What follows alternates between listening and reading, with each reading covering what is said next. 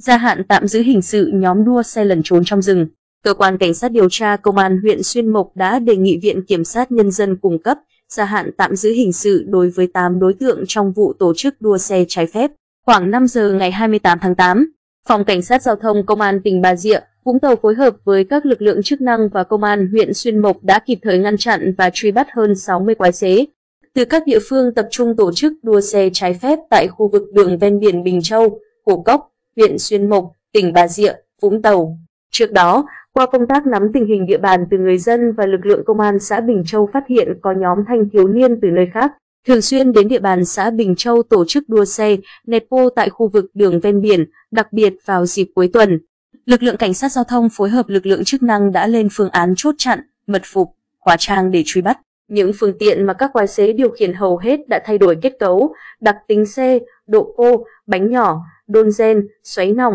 Khi phát hiện lực lượng chức năng, các quái xế đã điều khiển phương tiện chạy vào khu vực rừng Bình Châu, Phước Bửu, các bãi cát và ngõ hẻm nhằm trốn chạy. Tuy nhiên, sau 2 giờ truy bắt, hơn 60 quái xế cùng phương tiện đã bị lực lượng chức năng đưa về trụ sở công an xã Bình Châu để làm việc.